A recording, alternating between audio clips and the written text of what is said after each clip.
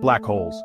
Just the name conjures images of cosmic monsters devouring everything in their path.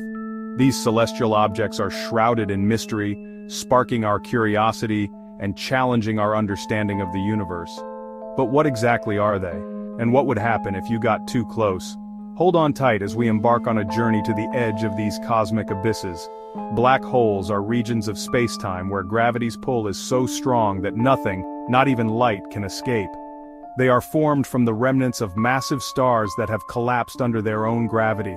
Imagine the entire mass of our sun squeezed into a sphere just a few miles across. This extreme density creates a gravitational pull so intense that it warps the fabric of spacetime itself. But don't worry, black holes aren't cosmic vacuum cleaners roaming the universe. They follow the laws of gravity just like any other object in space. You wouldn't be sucked into a black hole unless you got very very close. But if you did, well, let's just say it wouldn't be pretty. To understand the bizarre effects of black holes, we need to delve into the mind of Albert Einstein. His theory of general relativity, published in 1915, revolutionized our understanding of gravity. Einstein proposed that gravity is not a force acting at a distance but rather a curvature in the fabric of spacetime caused by the presence of mass and energy. Imagine a bowling ball placed on a trampoline. The ball creates a dip in the trampoline's surface. This dip represents the curvature of spacetime caused by the bowling ball's mass. Now if you roll a marble across the trampoline, it will follow a curved path around the bowling ball, eventually spiraling inward. This is analogous to how gravity works in Einstein's universe. Black holes take this curvature to the extreme.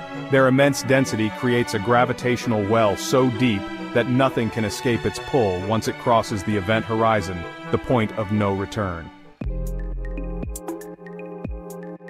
Now let's address the elephant in the room, or rather, the very elongated human in the black hole's vicinity, spaghettification. This rather unpleasant-sounding term describes what happens to an object as it falls towards a black hole. Due to the extreme differences in gravitational pull across the object's length, it gets stretched out like, well, spaghetti. Imagine you're falling feet first towards a black hole. The gravitational pull is much stronger at your feet than at your head, creating a tidal force that stretches you vertically.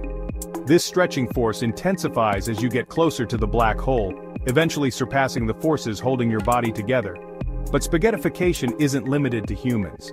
Stars, planets, even light itself, anything that ventures too close to a black hole will experience this extreme stretching.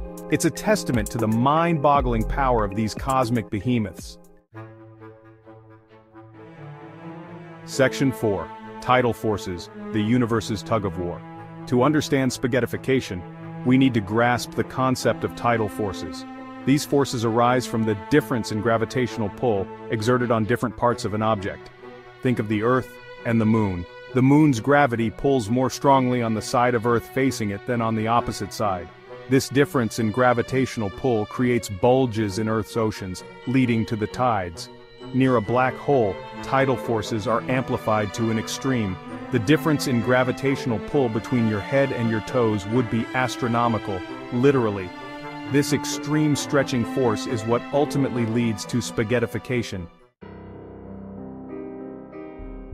Section 5 Stretching the Imagination, From Dough to Distant Stars. Let's use an analogy to make this concept more relatable.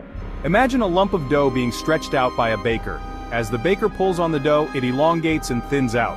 Similarly, as an object falls towards a black hole, the immense tidal forces act like invisible hands, stretching it out in a process we call spaghettification. Now imagine that same lump of dough is a star, and the baker's hands are the invisible but powerful tidal forces of a black hole. As the star gets closer to the black hole, it gets stretched and distorted, eventually getting ripped apart in a spectacular cosmic event. Astronomers have actually observed this phenomenon, known as a tidal disruption event, providing further evidence for the existence of black holes. Section 6. A Human Encounter, a Speculative Voyage. So, what would it be like to experience spaghettification firsthand? Let's just say it wouldn't be a pleasant experience. As you fall towards the black hole, you would feel the stretching sensation intensify. Your body would elongate, becoming thinner and thinner. Eventually the tidal forces would overcome the electromagnetic forces holding your atoms together, and you would be ripped apart at the molecular level. But here's the kicker.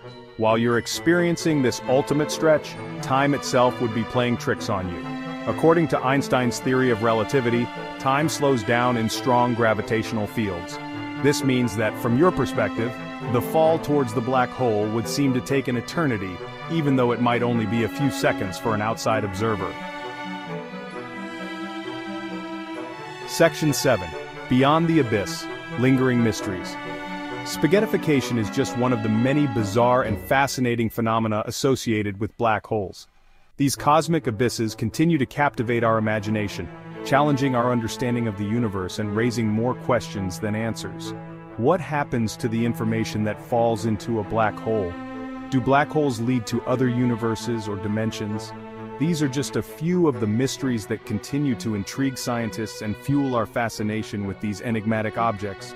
As we continue to explore the cosmos, we can be sure that black holes will continue to amaze and challenge us, reminding us that the universe is a place of endless wonder and mystery.